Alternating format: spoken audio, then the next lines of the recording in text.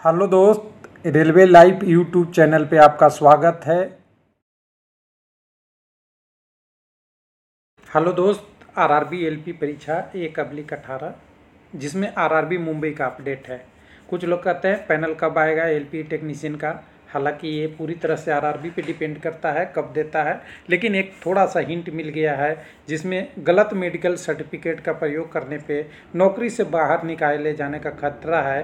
साथ में कैंडिडेट को लाइफ टाइम के लिए बोला जा रहा है कि भाई हम क्यों नहीं बैन करें आपको रेलवे में, कि आपको फ्यूचर में रेलवे में जॉब नहीं मिले या और भी गवर्नमेंट जॉब में।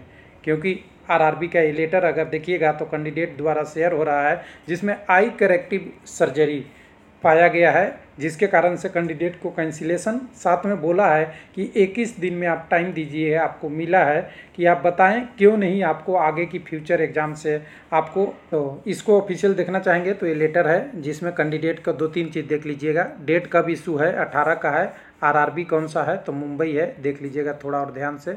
रेलवे रिपब्लिक बोर्ड, मुंबई, जिसमें कैंडिडेट को एड्रेस के साथ लेटर भेजा है, जिसमें बोला गया है कि आपका registration number LP and technician में इस रिगार्डिंग आपको जवाब देना है, नहीं तो हम notice for regarding cancellation of candidature roll number भी है, साथ में पोस्ट का है। यहाँ देखिए, क्या हुआ है? कह रहा है कि you had had applied for the post of L P technician against centralise notice number एक अब्लिक अठारह, जो डिटेल दिया हुआ है, उसमें सत्रह point two number para number है, इसको आपने मिसयूज किया है।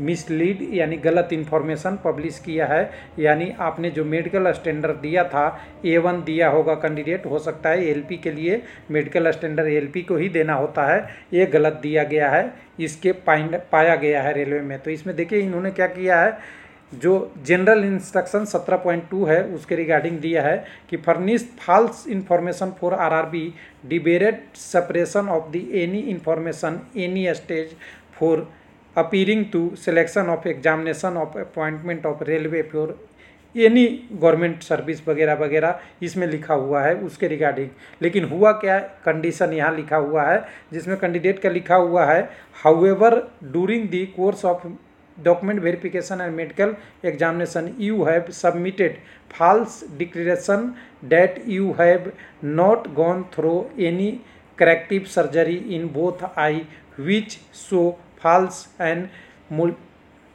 आपका है? देखिएगा। Mala fide intention and doubtful integrity आपकी इंटीग्रिटी सत्यता डाउटफुल हो रही है, जिसके कारण से आपकी मानी जाती है। और ये बिल्कुल क्लियर दिख रहा है कि मेडिकल एग्जामिनेशन से पहले कैंडिडेट ने लिखा होगा कि मेरा कोई करेक्टिव सर्जरी नहीं हुआ है और रेलवे ने ये पा लिया। इनको क्या दिया है? इनको टाइम दिया है कि सत्रह पॉइंट टू पैरा नंबर सत्रह पॉइंट टू क्या है वो देख लेते हैं नोटिफिकेशन में। तो ये हमारे पास सेंट्रलाइज नोटिस नंबर एक अब्लिक अठारह है। इसमें पैरा नंबर सत्रह पॉइंट टू देख लेते हैं। सत्रह पॉइंट टू क्लियर करता है कि आप किसी भी स्टेज पे गलत इन्फॉर्मेशन नहीं देंगे। अगर कोई भी गलत इन्फॉर्मेशन देते हैं तो आपको एनी गवर्नमेंट सर्विस वगैरह से लाइफ टाइम या कुछ टाइमों के लिए बैन किया जा सकता है। इसके लिए इन्होंने इक्कीस दिन का टाइम दिया है कि आप बताइए क्या है कंडीशन तो उसके लिए इन्होंने देखिए डेट दिया है कि आपको 21 दिन में बताना है कि आपको क्यों नहीं रेलवे से डिसक्वालीफाई करा जाए लाइफ टाइम के लिए? प्लस में और भी गवर्नमेंट सर्विस या कोई भी और जॉब है, उसके रिगार्डिंग है। तो समझिए, ये मिसलीड करना, गलत करना बहुत खतरनाक है। कई बार अगर पकड़ी जाती है आपकी गलत चहन कंडीशन तो ये आरआरबी इसके खिलाफ एक्शन ले सकता है। जैसा कि यहाँ लेने की बात कर रहा है आरआरबी हालाँकि कई बाइटों में आरआरबी कैंडिडेट के साथ थोड़ी सी सहानुभूति बरतता है कि अच्छी से हो और कैंडिडेट को भी चाहिए कि ऐसा न हो कि जो चीज़ आप कर रहे हैं वो उल्टा आप ही को पड़ जाए, इसलिए सतर्कता बहुत ज़रूरी है। तो यहाँ पे आप देखिएगा तो आप पैनल की बात करेंगे तो ये जैसा कि इस नोटिस में दिख रहा है, अठारह तारीख से इक्कीस दिन या मिलने के दो दिन और जोड़ लीजिए कैंडिडेट को दो से तीन दिन में डिलीवर भी हो जाए तो 25 दिन लगता है।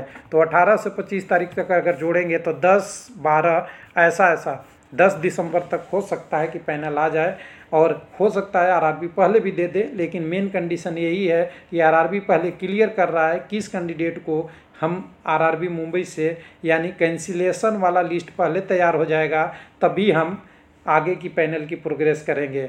अब आप कहिएगा कि हम कैसे कह सकते हैं कि कैंसिलेशन का पहले लाए तो ये हमारे लिए एग्ज़ाम्पल है कि हमने दोनों को देखा है।